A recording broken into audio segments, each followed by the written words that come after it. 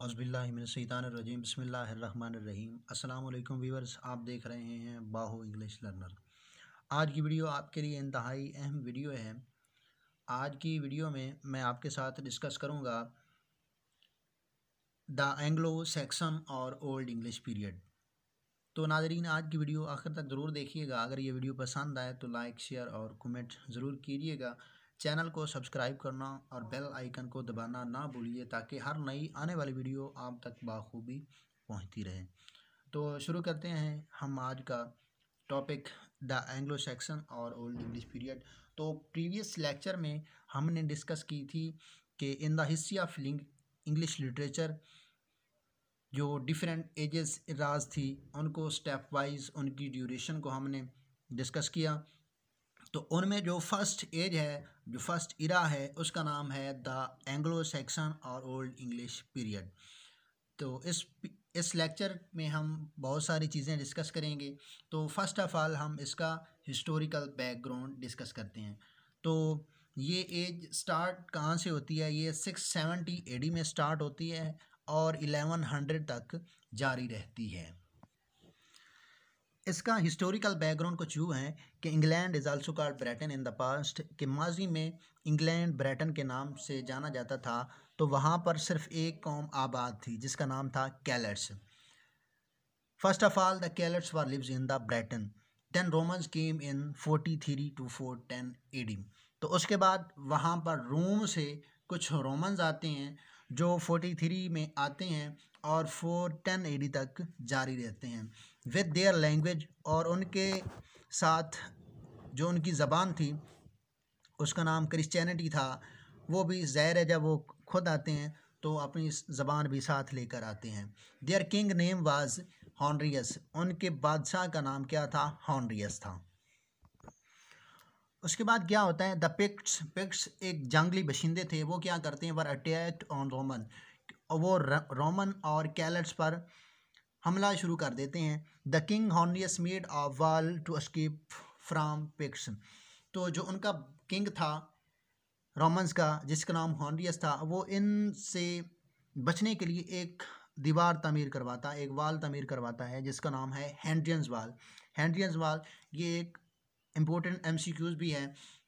ये इम्तिहान में पूछा जा सकता है कि हैंड्रियंस वाल को किसने तामीर करवाया और या फिर ये इस तरह भी पूछ सकते हैं कि हॉन्ड्रियस किंग ने जो वाल तमीर करवाई थी, उसका नाम क्या था? तो उसके बाद क्या होता है? In four ten A D, they come back to Roman. उसके बाद Romans four ten A D में वापस चले जाते हैं and kill, Celts lived alone in the Britain और ब्रिटन में सिर्फ़ कैलेट्स बाकी रह जाते हैं।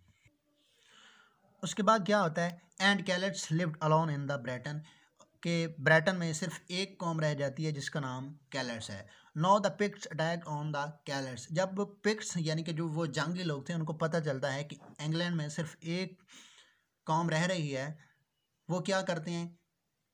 उन पर हमला करना शुरू कर देते हैं। Celts call three tribe to defend Picts तो उस वक्त कैलेट्स करीब के जो, करीब कंट्री थी वहाँ से तीन कौमों को बुलाता है ताकि हम साथ मिलकर इनका मुकाबला कर सकें। तो वो थ्री ट्राइब्स क्या थी? This tribes was Anglo Saxon और ज्यूट्स था। एक का नाम एंग्लो था, दूसरी का नाम सेक्सन था और तीसरी का नाम ज्यूट्स था। और यहाँ पर आपको ये भी पता चलेगा कि एंग्लो सैक्सन किस तरह वजूद में आते हैं। उसके बाद after defeating the Picts this tribe start lived in the England तो क्या होता है, जब ये तीन ट्राइब आपस में मिलकर उन पिक्स का सामना करते हैं तो पिक्स वापस चली जाती हैं। तो उसके बाद ये जो थ्री ट्राइब होती हैं एंग्लो सैक्सन और ज्यूट्स ये वहाँ पर आकर आबाद हो जाते हैं। The language of Anglo and Saxon was old English तो उस वक्त जो इनकी ज़बान थी, वो क्या थी? ओल्ड इंग्लिश थी। ये भी क्वेश्चन इंपॉर्टेंट है कि एंग्लो सेक्शन की लैंग्वेज का क्या नाम था? तो उनकी लैंग्वेज का नाम था ओल्ड इंग्लिश तो उस वक्त वहाँ पर जो किंगडम थी, उसको पाँच हिस्सों में तकसीम किया जाता है। Northumbria Mercia East Anglia Wessex और कैंट उसके बाद आता है पोएम्स ऑफ़ एंग्लो सैक्सन के एंग्लो सैक्सन की पोएम्स के क्या नाम हैं और वो कौन कौन सी हैं? तो जो फ़र्स्ट पोएम है एंग्लो सैक्सन की वो है Widsith one of the earliest surviving Anglo Saxon poem it is an autobiography of scope it tells about the Germanic world Widsith follows the form of Thulas, which is an ancient poetic form of Germanic. उसके बाद second poem of Anglo Saxon है वो है Beowulf Beowulf an epic poem that has survived for more than a thousand year is considered to one of the finest piece of literature longest and most important poem, poem of Anglo-Saxon poetry. It appears in Novel Codex and comprises of 3182 lines. The epic poem is divided into two parts, where the first part deals with triumph of Beowulf and the second deals with and the second deals with the death of Beowulf. Beowulf is a renowned barrier who is uh, summoned by Beowulf is a renowned warrior who is summoned by Rogder, king of Denmark. He asks Beowulf to fight a monster named Grendel. Beowulf slays Grendel and also kills its mother. The second part is described when Beowulf is old and has become the king of Geats. Third poem of Anglo-Saxon is Dear. A poem of 42 lines tells about the complaint of Mistral who has been supplanted by revival from his services. उसके बाद fourth poem है Waldear. Waldear tells how Walder of Aquitaine withstood a host of foes in the passes of Vosk. उसके बाद last पर है the fight at Finnsburg the splendid fragment called the fight at Finnsburg deal with the same favourite theme of battle against fearful odds उसके बाद Anglo Saxon poets Anglo Saxon poet में first poets है Caedmon Caedmon belong to the seven seventh century He is regarded as father of Old English poetry for his first one,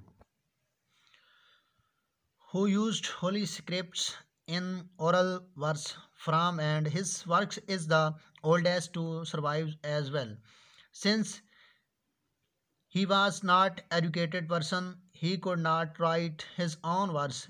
It was especially it was especially Saint Wood who wrote his verse. Cadman sang in serious the whole story of the fate of man from the creation and the fall to the redemption and the last judgment and within this large framework the scripture history वो है Cynewulf Cynewulf seven hundred seventy BC से eight forty BC तक ज़िंदा रहता है। Cynewulf an old English poet from significant body of work है survived Cynewulf represent a traditional point from oral to literature culture in Europe उसके बाद third poet है Alfred the great he was a king who converted the Latin language into old English King Alfred the Great is the youngest son of King Ethelwulf.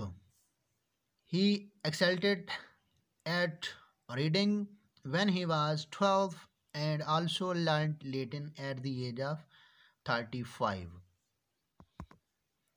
उसके बाद बहुत ही important note है MCQs और paper के हवाले से कि कैलेट्स जिसको ब्रिथन्स एंड गेल्स कहते हैं up to the five B C उसके बाद रोमन कनक्वेस्ट है, वो फिफ्टी फाइव बी सी से उसके बाद Anglo Saxon invasion four hundred seven A D उसके बाद Viking invasion seven eight seven A D उसके बाद Roman conquest one zero sixty six A D उसके बाद ओल्ड इंग्लिश, उसके बाद ओल्ड इंग्लिश लैंग्वेज। ये कितनी लैंग्वेज का कम्बिनेशन है? Combination of language first of all इसमें Latin twenty nine percent add की गई है, उसके बाद ग्रीक सिक्स परसेंट उसके बाद फ्रेंच ट्वेंटी नाइन परसेंट और other language six percent Germanic twenty six percent